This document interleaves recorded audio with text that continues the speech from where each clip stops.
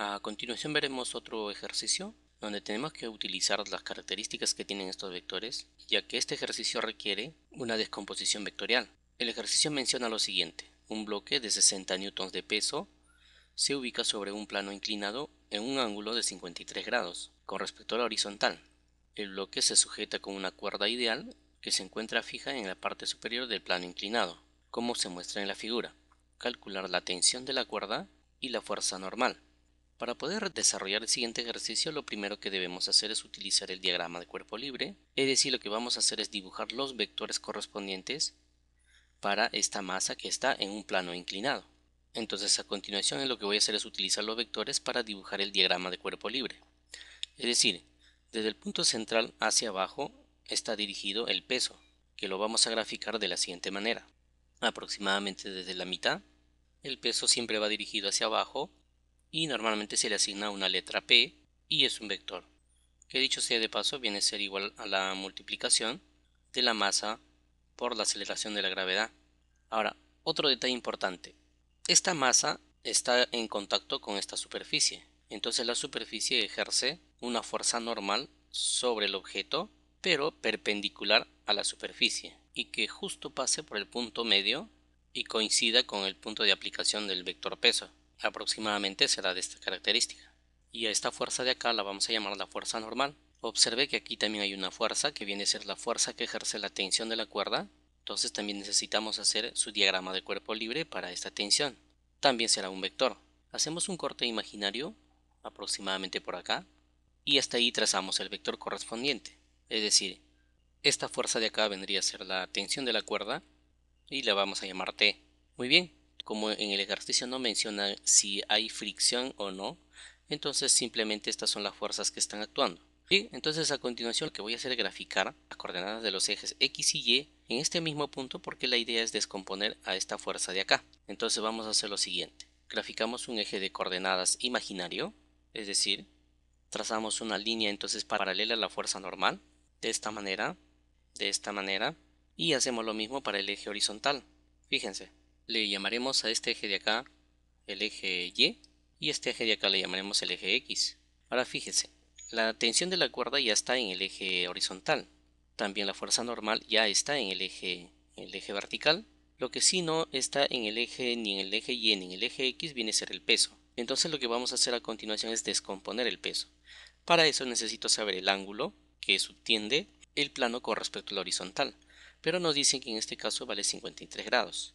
Yo le voy a poner mientras tanto alfa, es decir, lo colocamos así, que este ángulo de acá sea el ángulo alfa, y vamos a utilizar por mientras el vector peso. Fíjese, si esto viene a ser alfa, aquí forma 90 grados, este ángulo de acá sería 90 menos alfa. Y fíjense que aquí se genera un pequeño triángulo también. Si esto viene a ser 90 menos alfa, este ángulo de acá vendría a ser igual 90 menos alfa. Fíjense que acá es 90 grados si este ángulo de acá es 90, entonces este ángulo de acá vendría a ser alfa. Lo voy a sacar de acá y lo vamos a poner de esta forma. Aquí estaría el ángulo alfa. Con eso entonces lo que voy a hacer es descomponer al vector peso en el eje vertical y en el eje horizontal. Fíjese que en este caso nuestro eje vertical y horizontal está un poco de costado, pero la idea es que usted se pueda orientar mejor. Entonces descomponemos al peso. Si descomponemos al peso tendrá un vector paralelo al eje Y y también tendrá otra paralela al eje X. Como ven, entonces hemos descompuesto al vector P en el eje horizontal, que vendría a ser este vector que va a ser paralelo al eje Y, y este vectorcito que va a ser paralelo al eje X. Es decir, en esta parte se genera un vector, en este eje se genera otro vector. Ahora fíjese, como este ángulo de acá es el ángulo alfa, entonces eso significa que este vector que está en esta parte de acá vendría a ser el coseno del ángulo que subtiende. ¿Por qué coseno? Porque se utiliza al ángulo que está al costado del vector que se va a descomponer. Es decir, este vector vendría a ser el vector P por el coseno del ángulo alfa. Y este vectorcito de acá vendría a ser la otra componente, es decir, el vector P multiplicado por la función seno del ángulo alfa. Bien, entonces ya no hay otro vector que descomponer, ahora sí lo voy a trasladar a este lado de acá y lo vamos a ordenar para poder resolverlo de manera mucho más práctica. Trasladamos nuestro eje horizontal y nuestro eje vertical. El siguiente paso es trasladar los vectores que hemos descompuesto.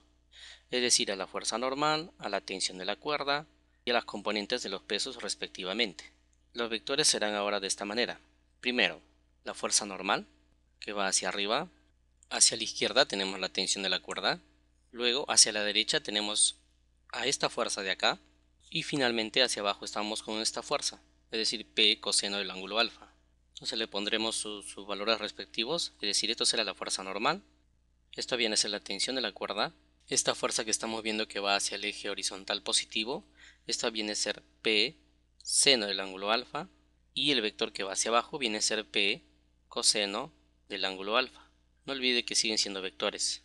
Ahora lo que voy a hacer a continuación es utilizar la primera condición de equilibrio. ¿Qué dice la primera condición de equilibrio? Menciona que la suma de fuerzas debe ser igual a cero. ¿Esto por qué? Porque el sistema está en equilibrio, es decir, la masa está en reposo o si no viaja con velocidad constante. Esas dos condiciones se dan para que un objeto esté en equilibrio. Entonces, primero vamos a analizar para el eje horizontal, es decir, la suma de fuerzas en el eje X, esto va a ser igual a cero. Y observamos entonces las fuerzas que están en el eje horizontal. En el eje horizontal tenemos a P seno de alfa positivo, o si no simplemente analiza de la siguiente forma, vectores que van a la derecha positivo y vectores que van a la izquierda negativo. Entonces dice P seno del ángulo alfa menos la tensión de la cuerda, esto va a ser igual a cero. Por el momento esto lo vamos a llamar ecuación número 1 y ahora trabajamos con el eje vertical. El eje vertical también se aplica la primera condición de equilibrio, la suma de fuerzas en el eje Y, esto es igual a 0. Y observamos las fuerzas que van hacia arriba positivo y las que van hacia abajo negativo hacia arriba sería la fuerza normal menos P por la función coseno de alfa y esto debe ser igual a 0. Le llamaremos esta de acá ecuación número 2. Nos vamos a quedar con estas dos ecuaciones, con la ecuación 1 y con la ecuación 2. Despejando ya podemos hallar las fuerzas correspondientes.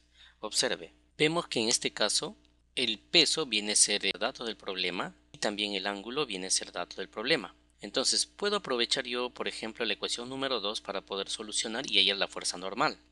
Es decir, utilizamos primero la ecuación número 2.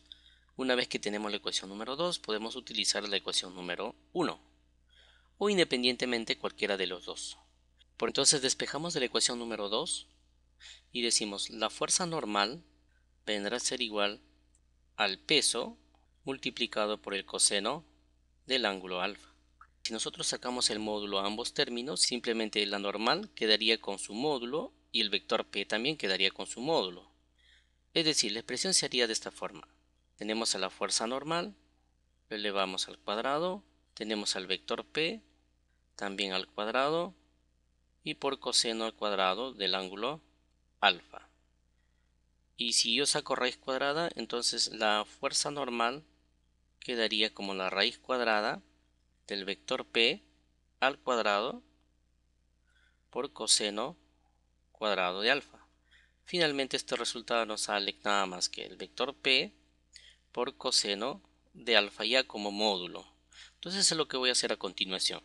En vez de escribir la fuerza normal como vector lo vamos a escribir ya como módulo.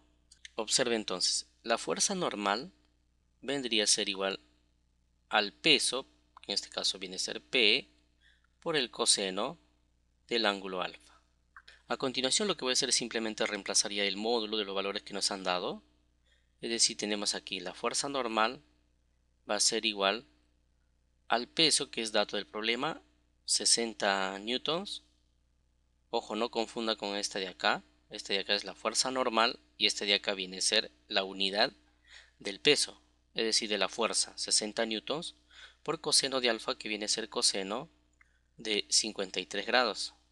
Entonces decimos, la fuerza normal vendrá a ser igual a 60 newtons. Lo voy a poner eh, n sub e para diferenciarlo con esta normal de acá por el coseno de 53. Pero el coseno de 53 lo podemos obtener de los triángulos notables. Tenemos de 3, 4 y 5. Este ángulo es el más pequeñito, vale 37 y este ángulo de acá valdría 53. 53 vendría a ser coseno, entonces el coseno de 53 sería cateto adyacente sobre hipotenusa, es decir, 3 quintos. aquí iría 3 quintos, quinta 12, quinta 1. 12 por 3, esto viene a ser igual a 36 newtons. Entonces decimos la fuerza normal como módulo, en este caso viene a ser igual a 36 newtons. Ya tenemos entonces la fuerza normal. Hacemos lo mismo, pero esta vez en el otro eje, para hallar la tensión de la cuerda. Es decir, de la expresión número 1 voy a despejar y ordenarlo. La tensión quedaría en este lado. Esto sería igual, ya despejando, al vector peso por el seno del ángulo alfa. También le sacamos el módulo y nos quedaría de esta forma. T viene a ser igual a P seno de alfa. Lo estamos sacando el módulo para mayor comodidad al momento de resolver. Entonces el siguiente paso es reemplazar. La tensión vendría a ser igual entonces. El peso viene a ser 60 newtons, que va a multiplicar a seno de 53 grados, porque alfa vale 53 grados. Pero igual hacemos nuestro triángulo notable de 3, 4 y 5. Dijimos que esto valdría 37, esto valdría 53 grados como es seno es cateto opuesto sobre hipotenusa, es decir, 4 quintos. Reemplazamos, entonces hallamos la tensión de la cuerda, vendría a ser igual 60 newtons, que va a multiplicar a seno de 53, que habíamos dicho que vale 4 quintos. Igual, quinta 12, quinta 1. Entonces tenemos que la tensión valdría 12 por 4, eso viene a ser igual a 48 newtons.